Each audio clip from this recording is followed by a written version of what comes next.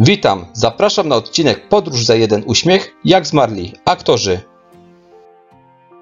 Edward Dymek, urodzony w marcu 1957 we Wrocławiu, aktor dziecięcy.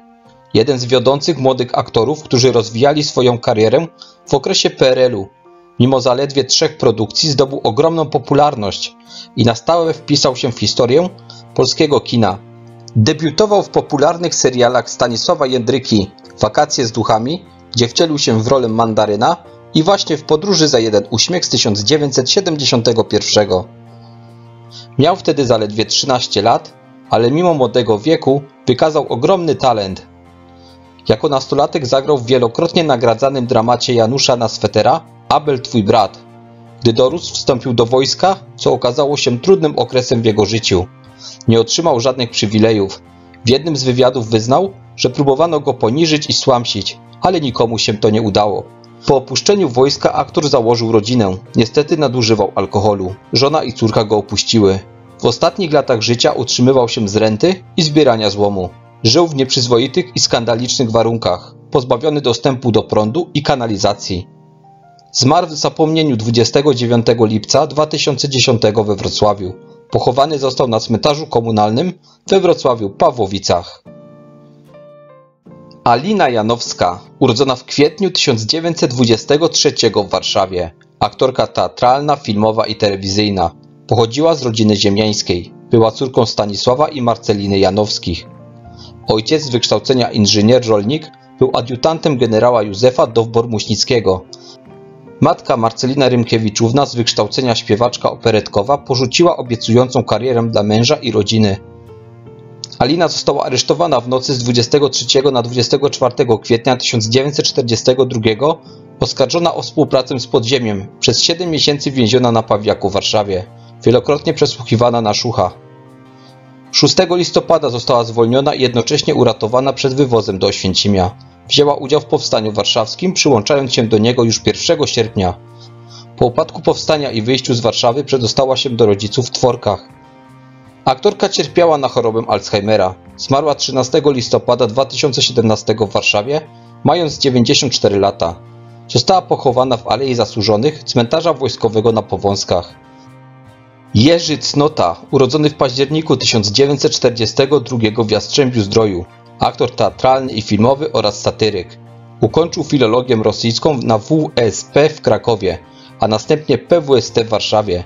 W kinie zadebiutował w 1969 w filmie Sól Ziemi Czarnej w reżyserii Kazimierza Kuca, a w telewizji w 1971 w serialu właśnie Podróż za jeden uśmiech.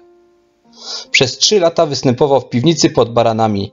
Największą popularność przyniosła mu rola gąsiora w serialu Janosik w reżyserii Jerzego Passendorfera oraz rola Augusta Mola w filmie Perła w koronie w reżyserii Kazimierza Kuca. Następnie grał zazwyczaj epizodyczne role w filmach i serialach. Aktor zmarł 10 listopada 2016 w Katowicach po długotrwałej chorobie. Dwukrotnie przeszedł operację wszczepienia endoprotezy biodra, ponadto miał chorą trzustkę. 16 listopada został pochowany na chorzowskim cmentarzu Najświętszej Marii Panny w Chorzowie Batorym przy ulicy Granicznej. Zygmunt Gęstowicz, urodzony w styczniu 1921 w Szakach, aktor teatralny, filmowy i telewizyjny. Dzieciństwo spędził w postawach, gdzie jego rodzice mieli aptekę. W Wilnie zdał maturę i dostał się na uniwersytet, na studia prawnicze. Następnie wybuchła wojna, na początku której został statystą teatralnym. Zdobył wykształcenie aktorskie, zdając egzamin eksternistyczny w 1946. W latach 60. wcielił się w postać Stefana Jabłońskiego w radiowym słuchowisku w Jezioranach. Za swoją pracę był wielokrotnie nagradzany. W 1976 otrzymał złoty ekran za udział w telewizyjnym programie Pora na Telesfora. Wielu telewidzów zapamiętało go z programu dla dzieci Piątek z Pankracem. Zygmunt Kęstowicz w ostatnich latach życia zmagał się z chorobą nowotworową. Zmarł 14 marca 2007 w Warszawie. Został pochowany na cmentarzu połąskowskim. Miał 86 lat. Jerzy Turek, urodzony w styczniu 1934 w Tchórzowej. Aktor teatralny, filmowy i telewizyjny. Występował także w kabarecie Owca u Jerzego Dobrowolskiego.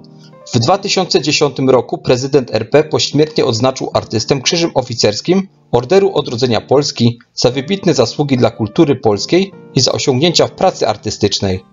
Urodził się we wsi Tchórzowa niedaleko Węgrowa, miał siostrę Mariannę oraz dwóch braci, jednego Konstantego. Po zakończeniu II wojny światowej w 1945 przeniósł się wraz z rodzicami do Kobyłki pod Warszawą. Po ukończeniu szkoły podstawowej naukę kontynuował w Warszawskim Technikum Budowy Silników Samolotowych. W 1973 zdarł gardło, na strunach głosowych pojawiły się polipy i musiał poddać się operacji wycięcia migdałków. Aktor zmarł 14 lutego 2010 w wieku 76 lat na białaczkę. Został pochowany 22 lutego w Kobyłce, koło Warszawy. Jan Machulski, urodzony w lipcu 1928 w Łodzi. Aktor filmowy, teatralny i telewizyjny, profesor sztuk teatralnych, reżyser teatralny i pedagog. W 1954 ukończył studia aktorskie w Państwowej Wyższej Szkole Aktorskiej w Łodzi, a w 1971 reżyserię w Państwowej Wyższej Szkole Teatralnej w Warszawie. W młodości aktywnie uprawiał sport. W 1970 razem z żoną otworzył w Warszawie własną scenę Teatr Ochoty, ośrodek kultury teatralnej, a wkrótce potem ognisko teatralne dla dzieci i młodzieży. Machulski szefował Teatrowi Ochoty do 1996. Był ambasadorem Łodzi w staraniach o tytuł Europejskiej Stolicy Kultury. 12 listopada 2008 otrzymał tytuł honorowego obywatela. Jan Machulski zmarł 20 listopada 2008 na zawał serca w warszawskim szpitalu bielańskim w wieku 80 lat. 28 listopada został pochowany w Alei Zasłużonych na cmentarzu wojskowym na Powązkach w Warszawie po mszy pogrzebowej w kościele Wizytek. Janusz Kłosiński, urodzony w listopadzie 1920 w Łodzi, aktor i reżyser teatralny i filmowy. W czasie II wojny światowej pracował fizycznie rozwożąc węgiel, a po 1945 pracował w składnicy złomu. W 1948 został absolwentem PWST w Warszawie z siedzibą w Łodzi.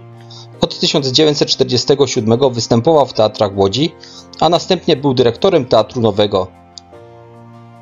Od 5 listopada 1961 kreował postać Józefa Jabłońskiego w powieści radiowej w Jezioranach, emitowanej w programie pierwszym Polskiego Radia. Od 1970 występował w Warszawie, m.in. jako członek zespołu Teatru Narodowego. Jego żoną była Wiesława Kłosińska. Aktor zmarł 8 listopada 2017 z przyczyn naturalnych w Warszawie. Miał 96 lat.